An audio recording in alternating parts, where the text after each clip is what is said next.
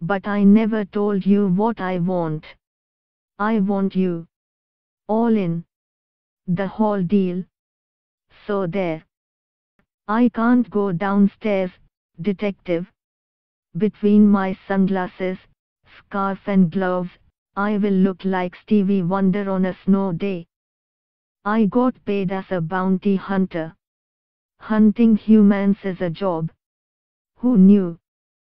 This poor sap's either already in heck or in the Silver City, enduring Uriel welcome speech, which is far worse than heck, if you ask me.